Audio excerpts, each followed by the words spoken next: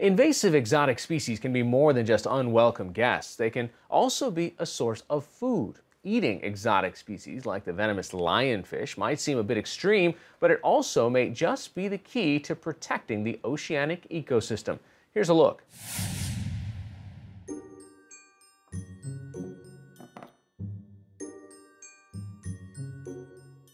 These cockroaches are welcome in my kitchen anytime.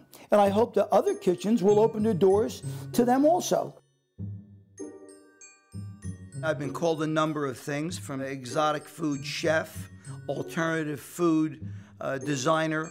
When we talk about alternative and exotic in America, it's something that is out of the normal diet for most people.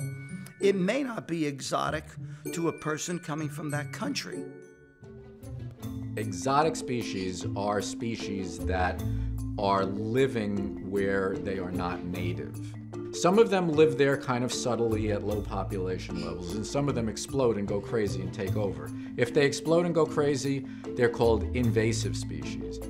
At the Safina Center, we're trying to get people to have a closer relationship with the natural world. We analyze how fish are caught or otherwise get to your plate. That's how we work with the Explorers Club. The Explorers Club is a, is a very unusual organization.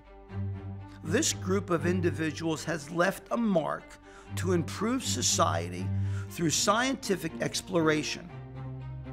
Back to Shackleton's days and Peary's days, when explorers came back and had the Explorers Club annual dinner, they came back to show others what they had found. We're dealing with the oceans this year. So the idea behind taking some invasives out, try a new food source, you'd be shocked, it's gonna be delicious. I can't think of a single fish that is a worse problem now than lionfish off the east coast of the United States. I see them here immediately. They have escaped from aquariums.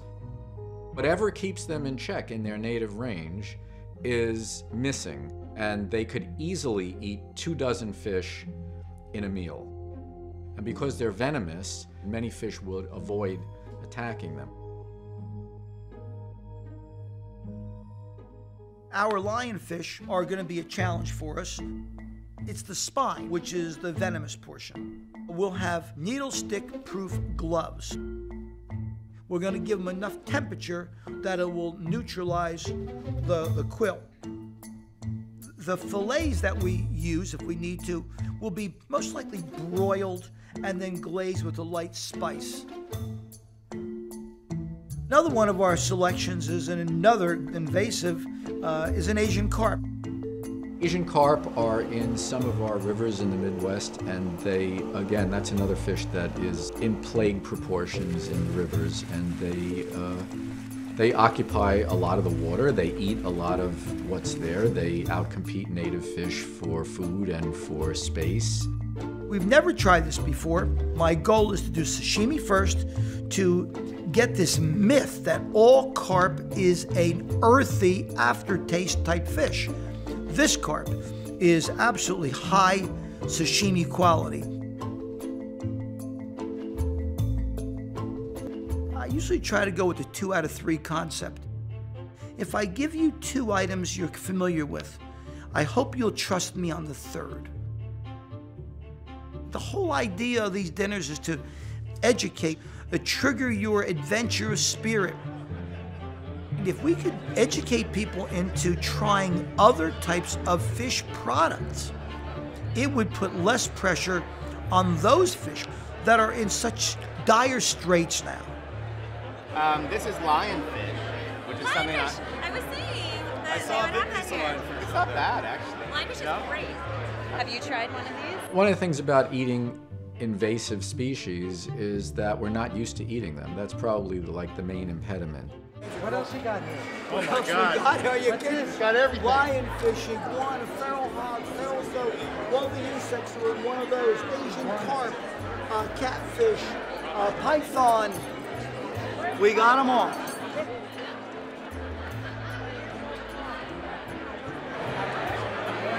It smells good. I'm gonna go get some iguana. Yeah, let's do that. Little bit of chicken, a little grassy.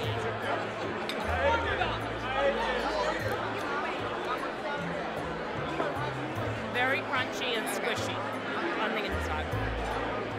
It's better than I expected. People have to get comfortable with the idea that that is good food to eat because we have so depleted so many of the fish populations of the world, and with 7 billion people and climbing, our pressure is just increasing and increasing. So we're either going to completely demolish the ocean, or we're going to try to do some things a little bit better. How was it? Spicy. Spicy? Protein rich.